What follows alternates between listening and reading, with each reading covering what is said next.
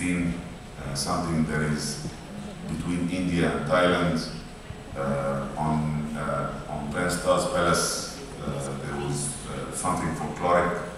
Um, the one that I attended in uh, in Kobe was uh, popish.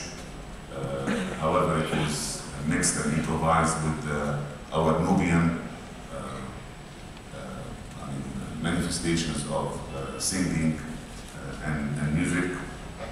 Uh, it, it was great having uh, India uh, in Egypt, and as, I said in my speech in the Opera House the other day, that you cannot even think of imagining the East without uh, both India and Egypt.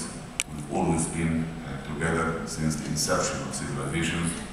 Uh, we have struggled together towards independence, afterwards uh, we have uh, together composed uh, the NAM movement. We were always together.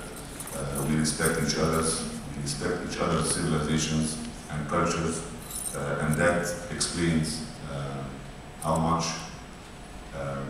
Egypt loves India,